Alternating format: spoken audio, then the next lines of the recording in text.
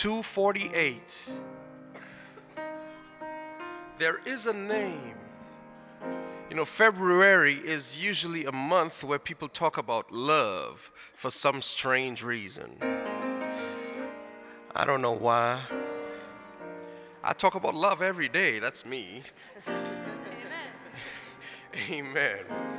But oh, how I love Jesus. verse 1 and 3. There is a name. There is a name.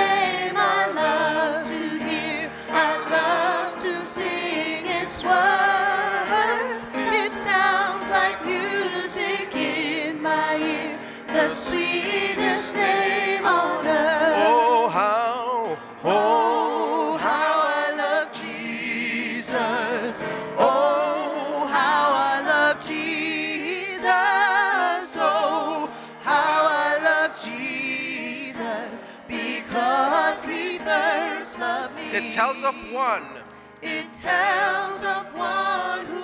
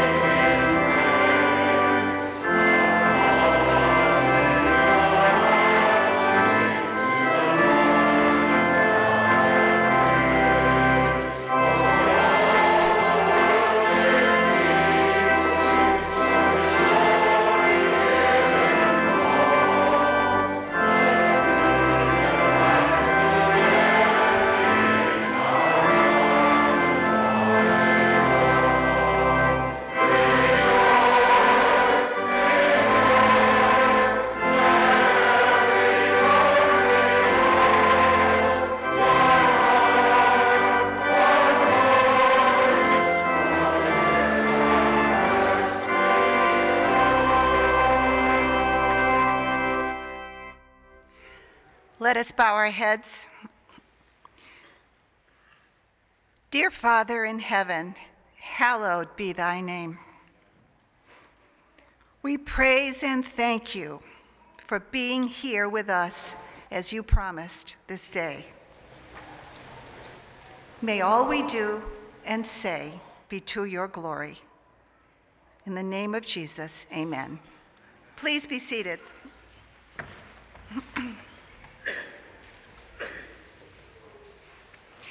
Good morning to all of you here, and good morning to those of you who are watching us on television.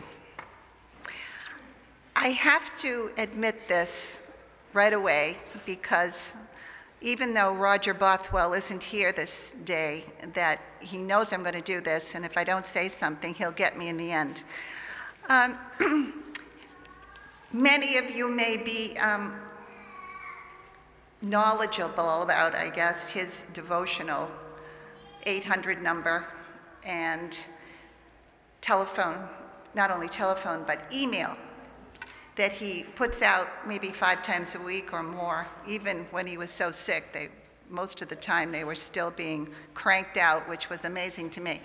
Anyway, he did one very recently that kind of caught my eye, and I called him up and I said, Roger, the English major in me loves this, and this is what I always do when somebody catches me, as Ulysses did, to get up here. May I use part of that? And he said, Of course you may. So here we are. Thank you, Roger, although I added some, to be honest.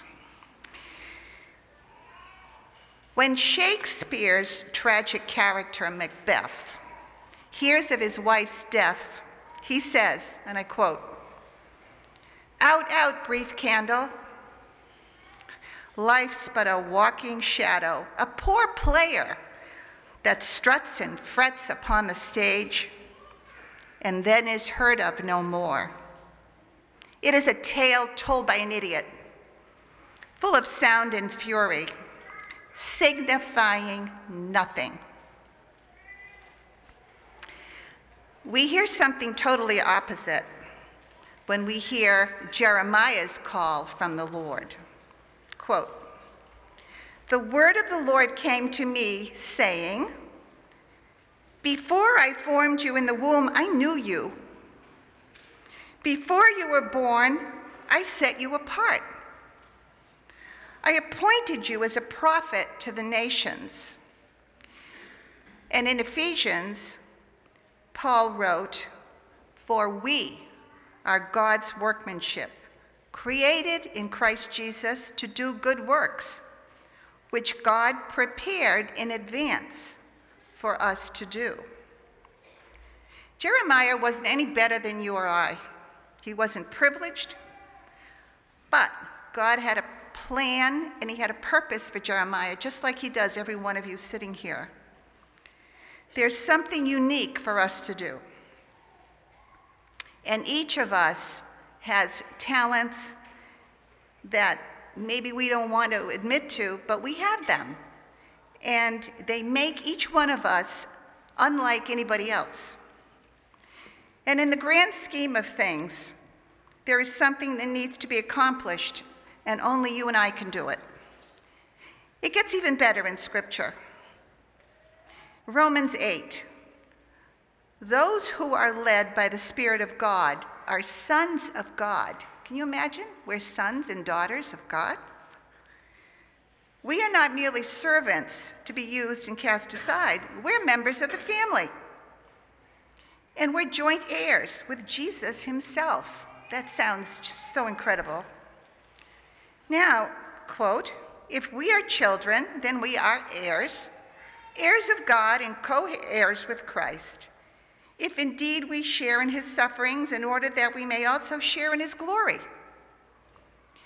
For I am sure that neither death nor life, nor angels, nor principalities, nor things present, nor things to come, nor powers, nor height, nor depth, nor anything else in all creation will be able to separate us from the love of God in Christ, Jesus our Lord. As Roger said, sorry, Macbeth, you were wrong. Our lives signify much more than we can possibly imagine. God bless you all.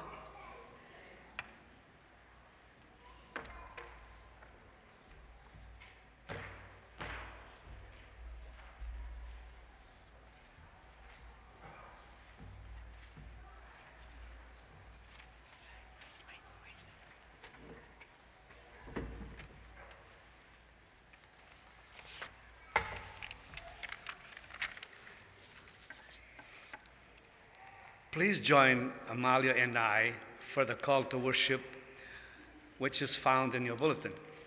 Amalia will read the soft print while the congregation reads the bold print with me. The sovereign who is ever present now asks for your attention. We are sorry that we do not see him more often. But today in this place you may know him more intimately. Today, today, today we will honor him.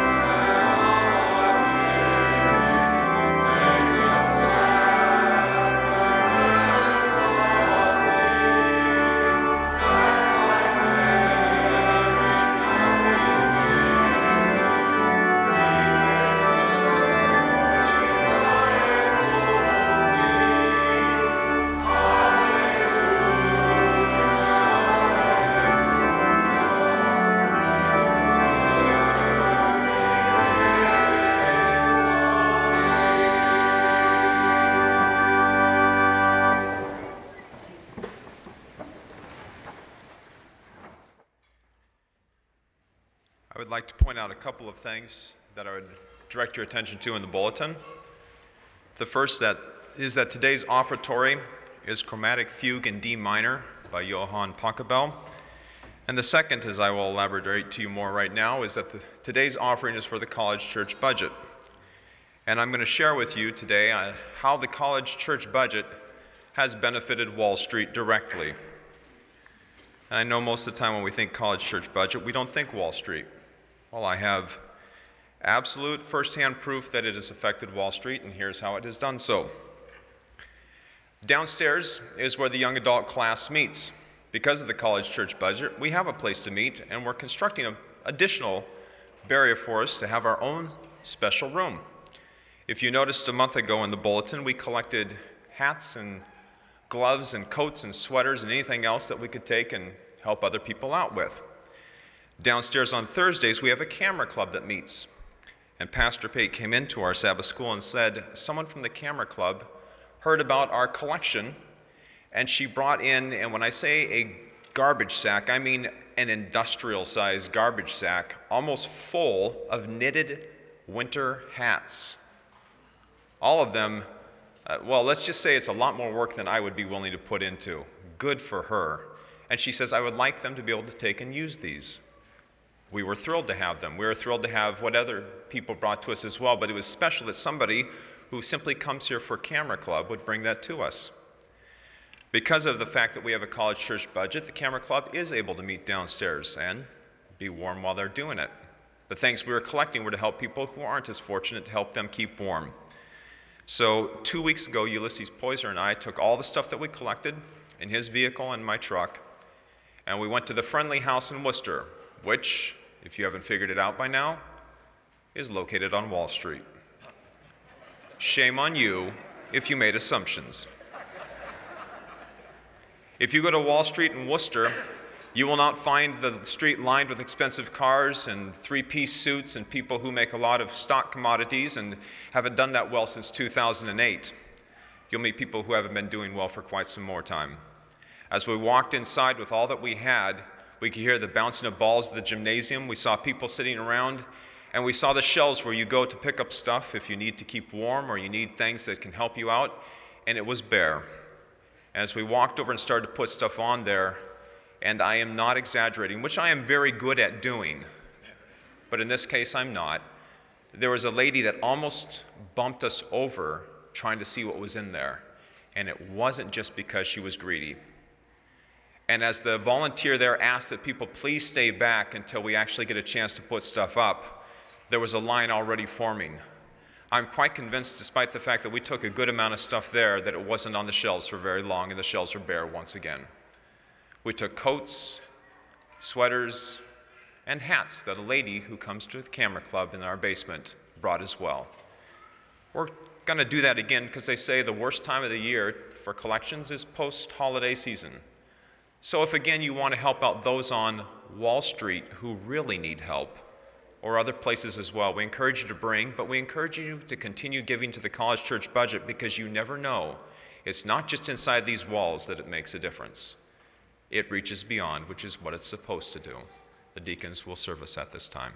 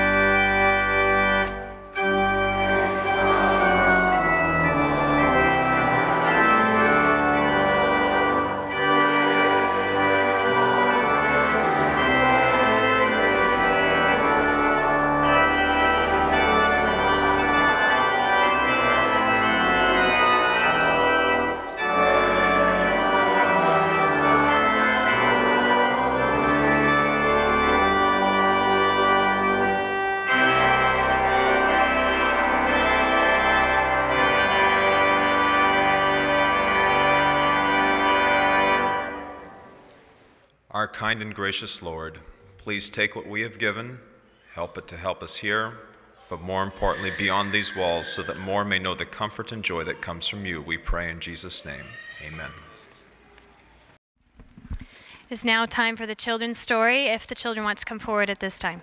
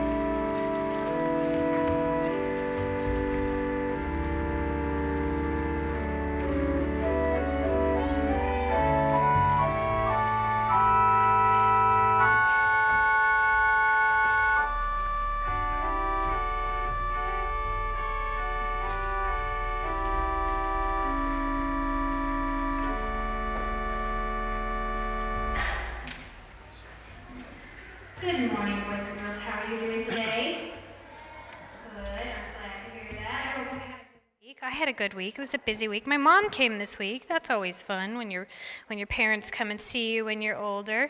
Yeah, and your grandparents came. Yeah, I know that. That's exciting.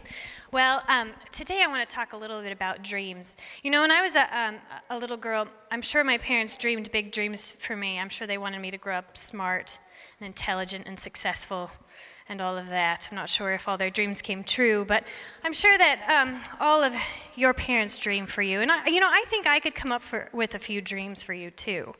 You know, big goals. William, can I have you come up here? I need your help. Yeah, you gonna stand right here for me?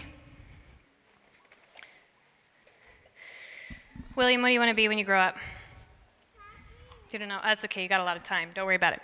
You know, um, some of the things that I think that I could probably dream for you. One of them would be I could really see you growing up to be super smart. Look at here. Here, hold this. These are, these are your glasses, and this is the book of knowledge. And everybody knows glasses make you smarter. Okay? So when you grow up, William, I dream that you're going to be very intelligent and very smart and very, very well learned. Do you want that? Yeah, okay, okay. Maybe that's not your goal. I got another one. I dream that you grow up to be the best sportsman ever. That'd be Eric. Okay, you could you could be a successful sportsman and play sports. Sorry, it's the only ball I could find. and you could do a lot and be famous and be a, a good picture, you know, a, a good good face on the screen, and you could tell other people about Jesus through sports. Yeah? Yeah. Okay. All right. Well, I dream actually, William, that you become ruler of the world.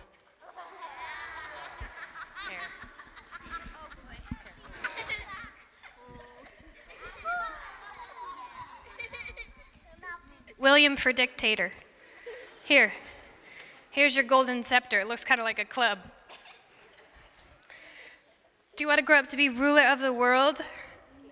Big dreams, right? Now, you see, we dream big dreams, and our parents dream big dreams. But you know who big, dreams even bigger dreams for us? God. And God says in the Bible, He says, I have great plans for you, plans to prosper you. But you know, sometimes when God dreams big dreams for us, life gets in the way, and sin gets in the way, and life is cut short. And that's why I think God came up with heaven. Because heaven is a place where God can dream all His dreams for us, and it can be as long as eternity for Him to get them all done. And I think God dreams such big dreams that he needs all of eternity to get them accomplished. So remember, when we get to heaven, God has big dreams for you. You can go back to your seats. Good job. It's time for our morning congregational prayer. That means it's uh, there's a place for this prayer in all of our lives and in our experiences. Uh, some like to come down front and join us up front when we pray.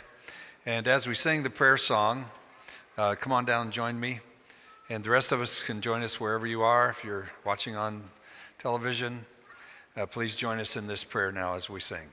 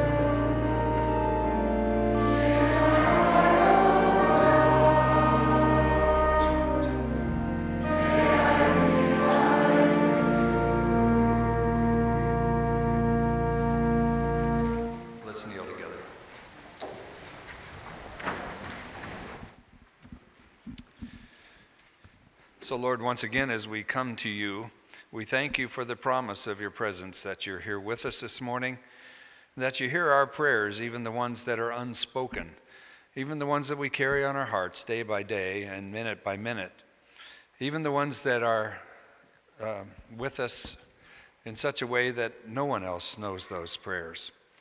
So we thank you for this opportunity to join together with fellow believers in such a free and open manner. We thank you for the opportunity to rest and find recreation and renewal on the Sabbath. And we thank you for this church building itself and for each who provide this place for us. We pray today that you'll take us and cleanse us and make us new in you and in Jesus, and make Jesus more uh, precious in our lives, and may he speak through our lives. Make us salt in this life that you have given us. I pray that you'll uh, especially be with our prayer focused concerns, especially those with health concerns. Pray that you'll be with Pastor Pate as his shoulder heals from his surgery on Thursday. Uh, be with uh, my wife Cheryl, be with Phil, be with Amanda, be with uh, Sandra, be with Al, be with June and Linda and Adam. Be with John and Susan, Jimmy and James, Thor Reagan, Joel, Roger and Regina. Be with Wayne. Be with those in military service that we lift up each week Robbie, Kelsey, Kim, and Stephen. And be with those that are studying and serving abroad Eric and Joy and Jesse and Haley. And you do know those burdens that we carry on our hearts, Lord, for loved ones and family members and friends, issues that uh, are chronic and in crisis. So we pray for those prayers especially, and as we lift those up in just a moment of silence, hear our prayers, O Lord.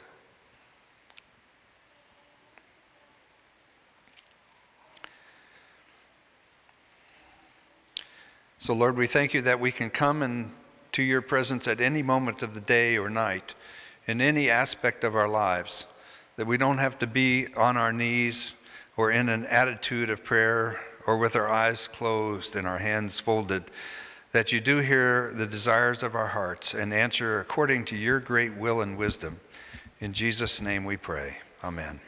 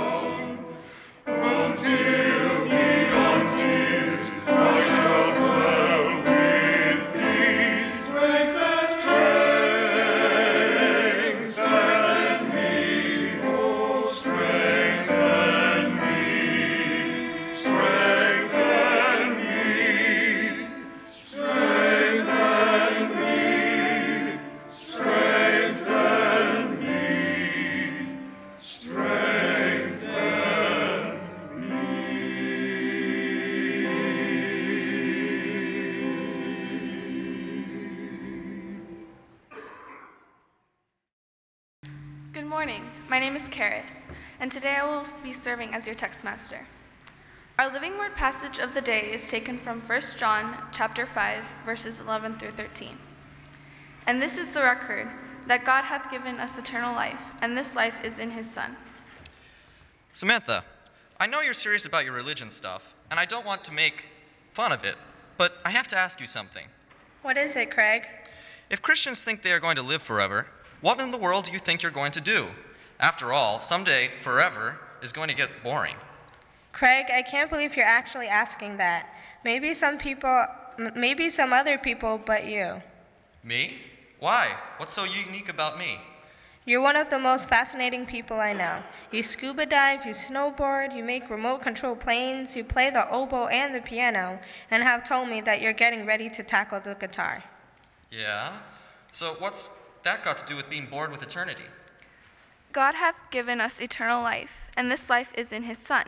He that hath the Son hath life, and he that hath not the Son of God hath not life. I think it should be obvious, but not really. What do you mean by that?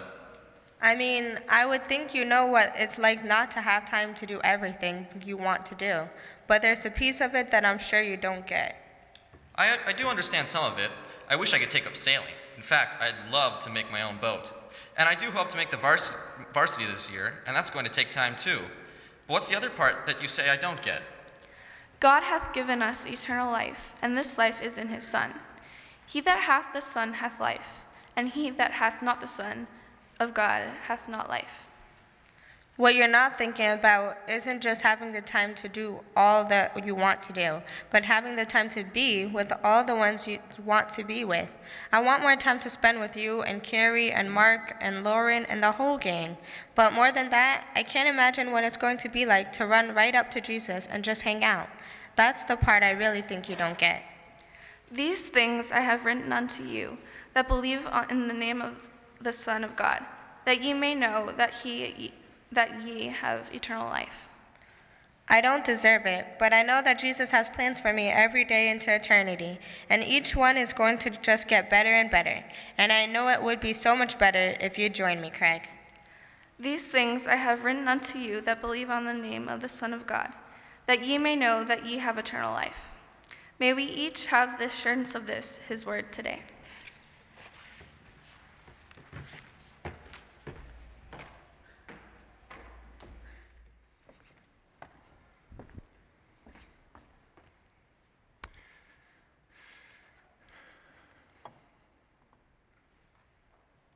Thank you so much.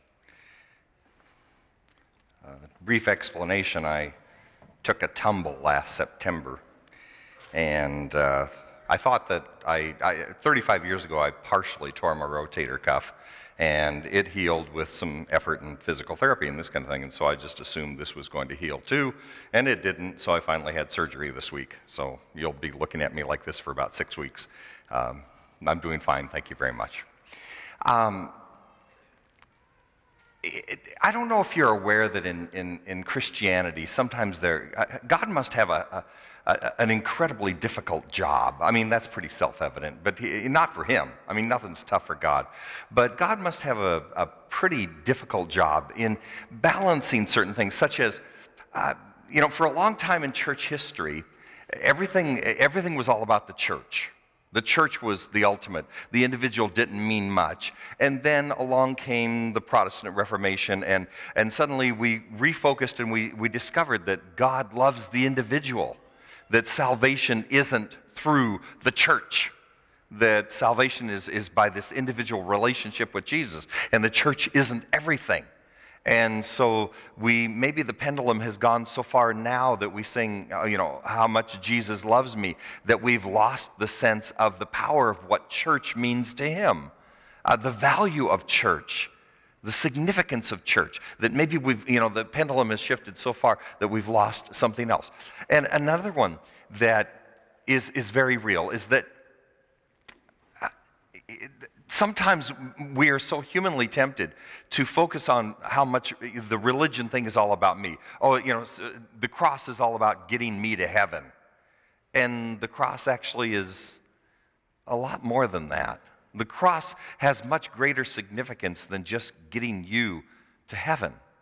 And yet, because it plays on, on you know, my selfishness and my innate self protectiveness, it's easy for me to focus on, on, oh, the old rugged cross and what it means about getting me to heaven when it's, the picture is a lot larger than that. And sometimes uh, we're so focused on my individual salvation that we don't think of the bigger picture. But even at that, I today would like to do something that's not normal for me. I'd actually kind of like to talk about heaven. You know, even though I have hesitation that focusing too much on heaven, uh, some people, they just don't really live this life. They don't start the kingdom now. They don't start living the reality of, of, of the eternal life already, right now, today. And, but even at that, every once in a while, it's not a bad deal to talk about heaven. I um, obviously set the hourglass here. And this whole concept of the passage of time and how much time is enough time. Ellen White many years ago said there are three things that you really just don't even head down that path. You know, just don't even waste your time because eh, you're not going to come up with an answer. In fact, you can drive yourself nutso. She didn't use the words nutso. That wasn't exactly 19th century vocabulary, but uh, you can drive yourself nutso. And that is, uh, one is, where did God come from? Another one is, how long is eternity? And the third one is how does sin begin in the heart of a perfect in a, in a perfect universe? In any being in the in a perfect you know don't even you know don't even wrestle in that stuff because you're never going to get anywhere. You can't come to resolution on any of those. We don't have answers for any of those. But how long is eternity? And I know that it is tempting, like our, like Marcel was reading, it is tempting because we are human and we're temporal, and we've already passed one month of 2013. Can you believe that? Astounding. Because we're temporal and because we mark time, time is significant to us, sometimes the idea, the concept of eternity is frightening. I mean, what are you going to do forever? Now, let me just uh, quite simply share something with you. The angels apparently sort of know what forever is, and it doesn't seem to bother them. The angels don't seem panicked over the idea of having forever. They, they already have a taste of what that means, and they seem okay with it. Uh, they don't, they don't, there's no reference that they want to bomb out on it. So they know better than we do. But the idea of what are we going to do forever? If you take your Bibles, please, there's a very curious verse, Ecclesiastes, in Ecclesiastes chapter 3. Ecclesiastes chapter 3 has that famous passage that uh, everybody knows, and especially if you grew up in the 1960s, because the Byrds sang to everything turn, turn, turn. There is a season, turn, turn, and a time for every purpose under heaven. A time to be born, a time to die. And many of you remember that. It's interesting the, the, re- the resolution of that passage, Ecclesiastes chapter 3, the resolution. Verse 11. There are two astounding claims in there, really breathtaking in that one verse. The first one is God has made everything beautiful in its time. Oh, really? Really? That one, that one takes a, a bit of faith. Tell that to the mother who just buried her child.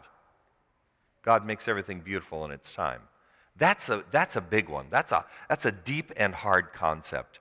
God has made everything beautiful in its time. And one of the things that's listed in the timing here is a time to be born, a time to die. But God makes everything beautiful in its time. That's difficult.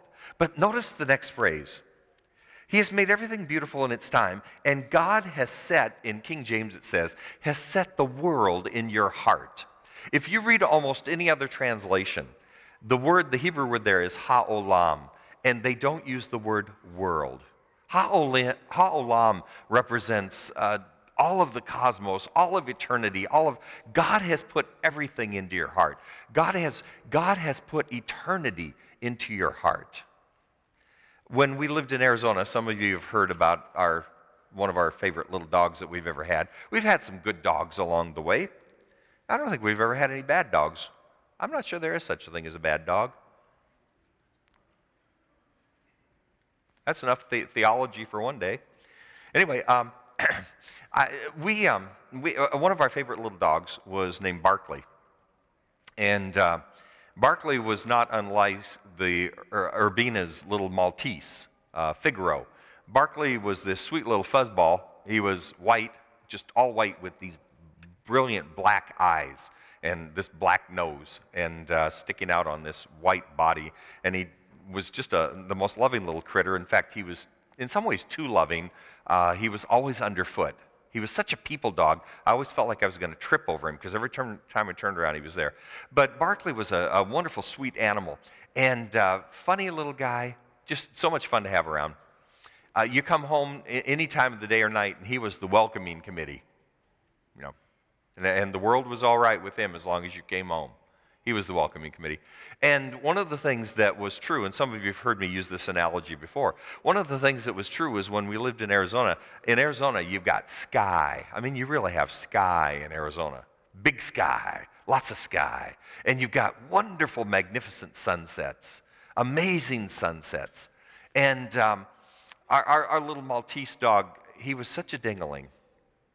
I'd be out there, I'd go out in the backyard, and the sun would be setting over the Arizona desert. I mean, just be radiant, all the, uh, the reds and the crimsons and the purples, and it's just, you know, just exploding. Just, uh, you cannot fathom the various shades and the texture. And Barkley would just be walking around the backyard sniffing nasty stuff. I mean, there, there was all this available beauty, and he, had, he didn't have a clue. He had, as Ellen White says in Steps to Christ, neither the desire nor the capacity to appreciate it. He just didn't have the desire or the capacity to appreciate the sunset. And it was always amazing to me because you see, Barclay, Barkley wasn't created as you were created. In Genesis 1 and 2, it speaks of the creation, and, and I really, I am of the school that believes that Genesis 1 and 2 really is creation for dummies.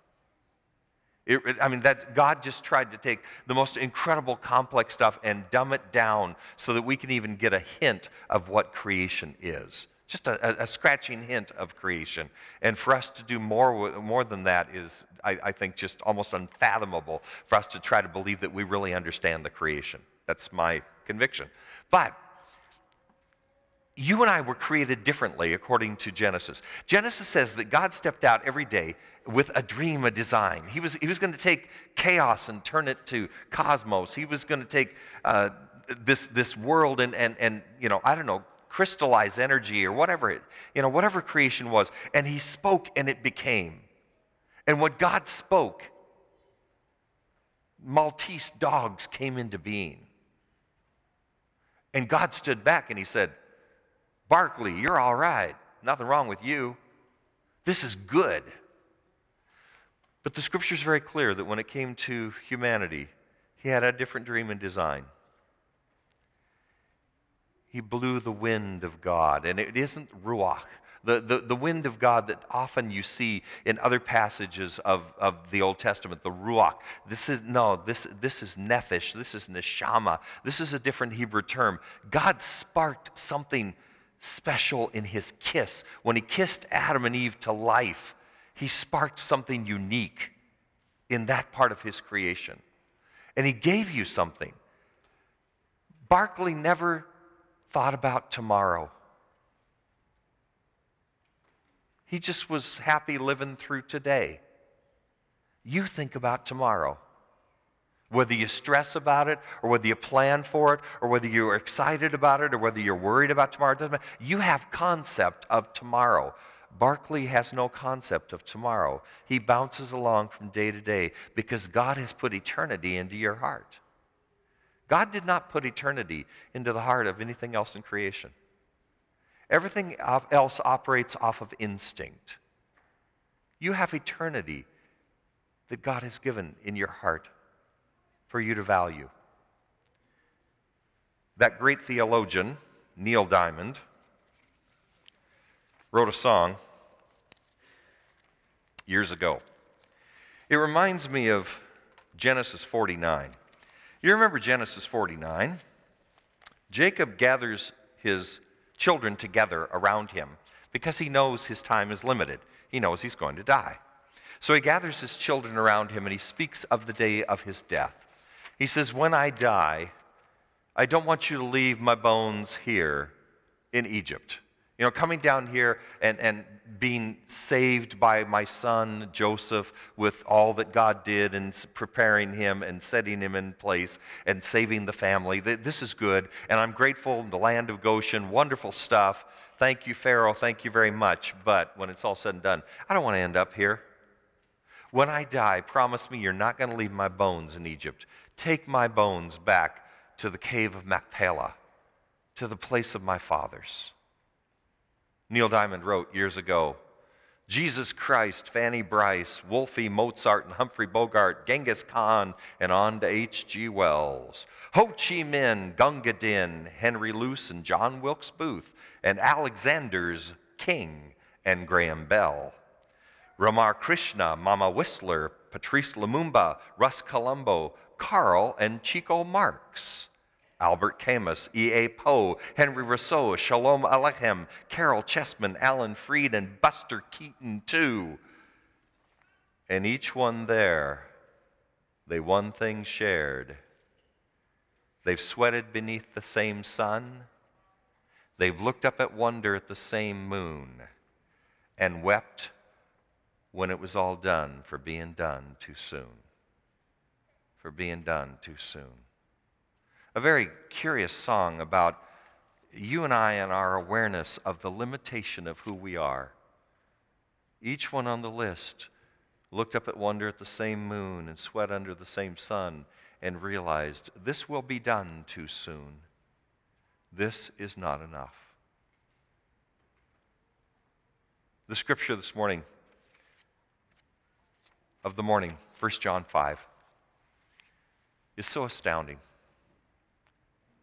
Beloved, I write you this that you might know that you have eternal life. You don't have to think about it. You don't have to worry about it. You don't have to wonder if it's possible, if there will be more than this. Or is this all we're getting? You have eternal life. I write you these things that you might know that you have eternal life and it's all just one world away. What are you going to do with it? On the table back here, I'm going to step back just for a moment. On the table back here, I have some items that um, are important to me. This is the first, hammered, uh, first mountain dulcimer I ever made.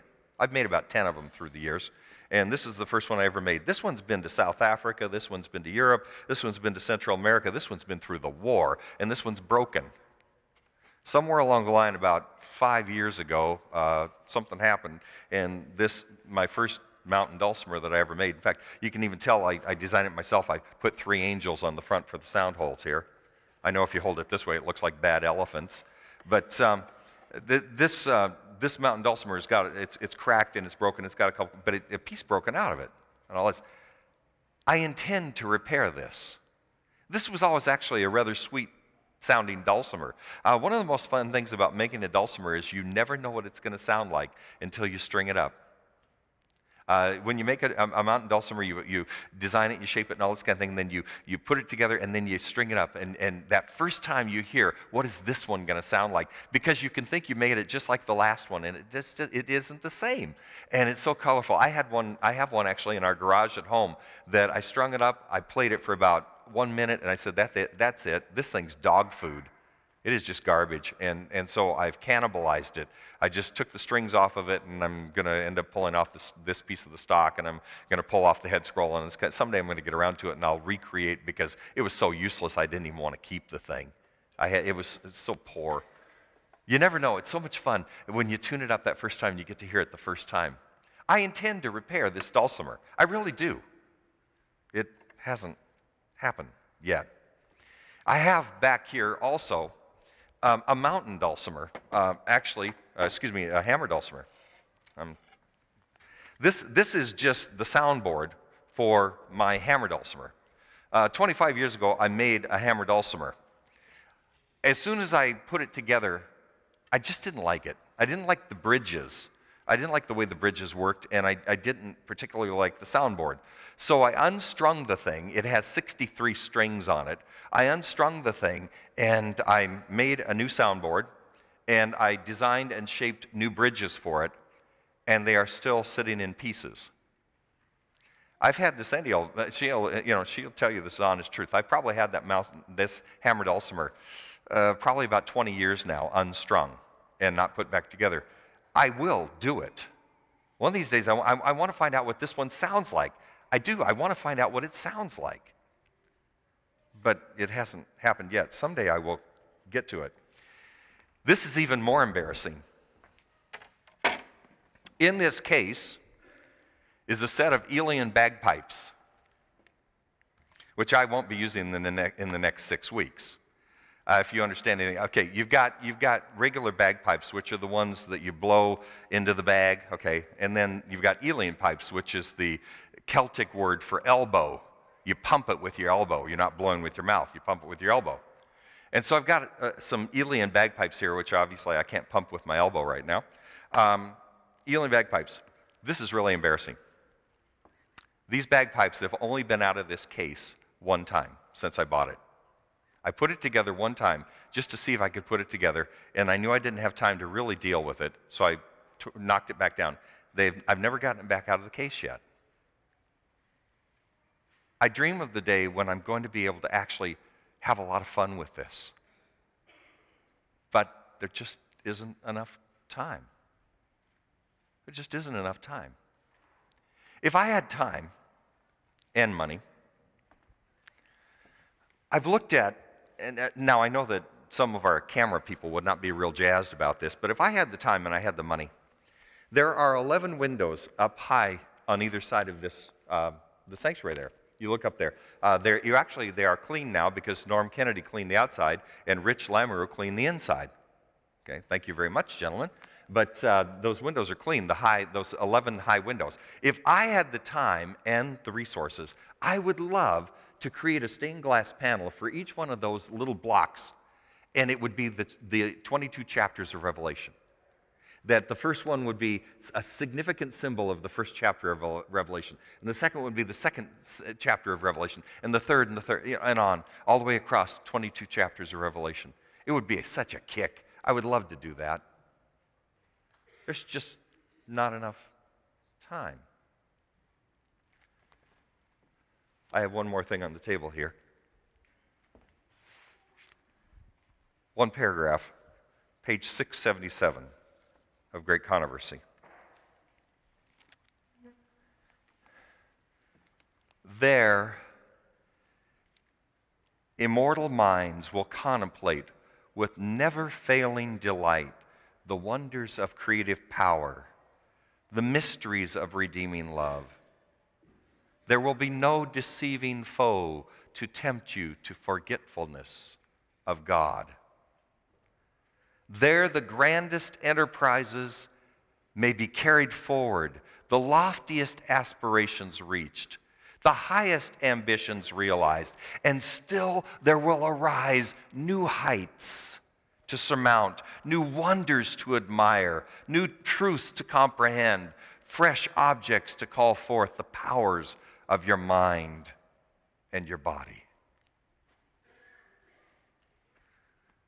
The farther you go into eternity, the more you're going to discover.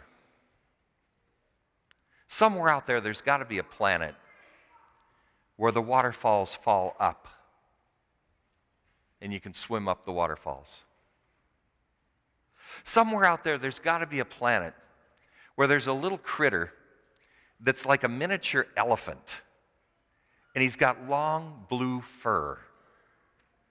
And when you reach down with your wrist like this, he'll wrap his trunk around your wrist and you can swing him around like this and he giggles. It's got to be. I mean, what made you think that the only critters that God ever created are all on this planet? Somewhere out there,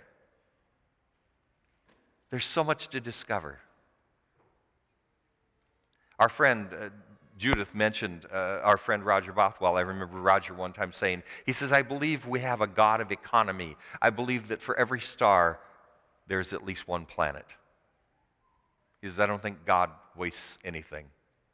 There's got to be at least one planet. How long would it take you to explore, to really know the state of Massachusetts?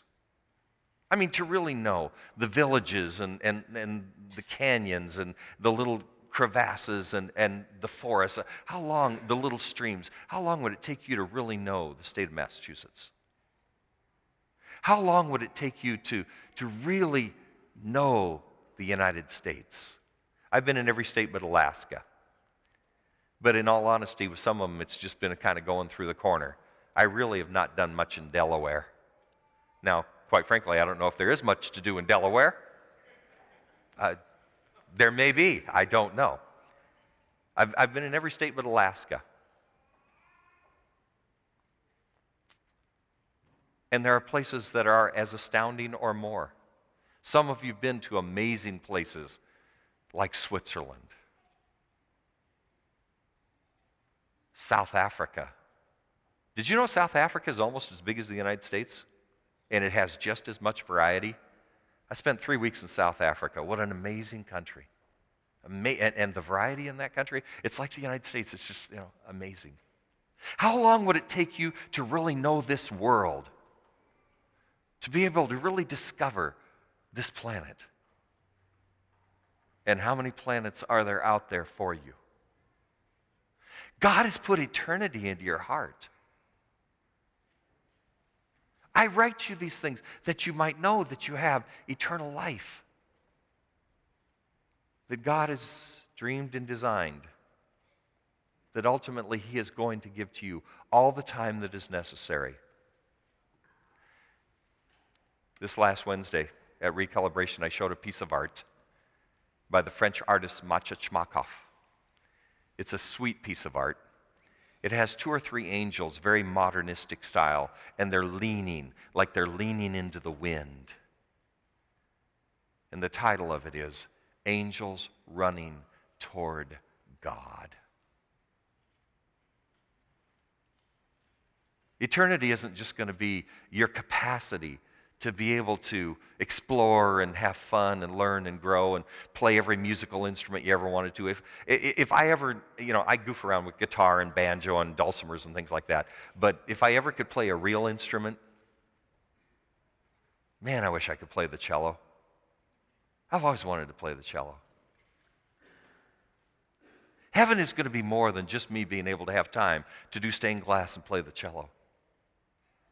Heaven is the place where every time you just feel like it, you can run right to the throne and run up that great mountain of God and just sit down and have some personal time. and God will be more than happy to have you there. Brethren, I write you these things that you might know you have eternal life, and it's only just one world away. Our closing hymn is hymn number 216. 216.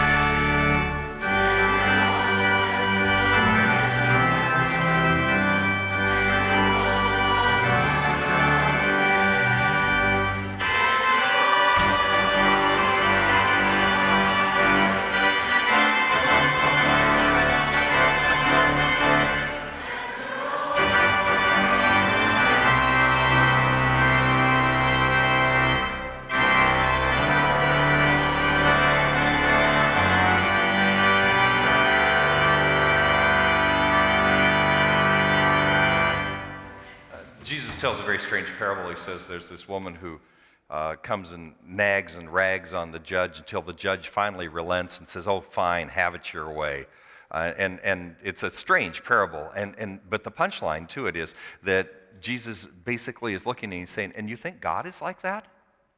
You think you've got to beat God up to get him to finally relent?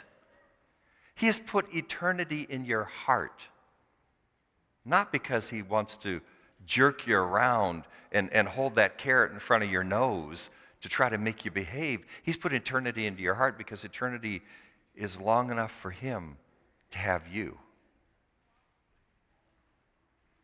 He wants you for eternity. This isn't a game on His part. Eternity won't be too long for God to have you. That's why Matthew 25 34 says, One day the king looks and he says, Come, ye blessed of my Father. I've been waiting for this. Beloved, I write you this that you might know you have eternal life. Let's pray. Father, thank you so much. Thank you for uh, the majestic and magnificent promises beyond our comprehension You've given us all things, and you sustain and you, you promise all things. And we know we deserve nothing. It is just because you are so astounding. Lord, we want to spend eternity with you. We, we want to spend eternity having fun. We want to spend eternity with each other. But mostly, Lord, maybe you want us for eternity, and that just takes our breath away. We don't understand it, but we praise you. These things we pray in Christ's name. Amen.